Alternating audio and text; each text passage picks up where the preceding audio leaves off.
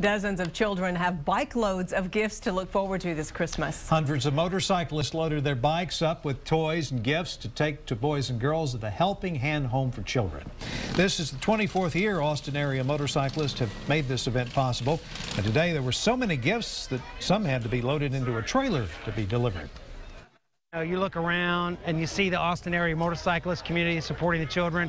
It's pretty special, and it's it's not just about the toys, and it's not just about the bikes and the and the noises and the sounds, which are awesome. It tells the kids that people care about them, and I think that's what's most special about today. The Helping Hand Home cares for children as young as four years old who were victims of severe neglect and abuse.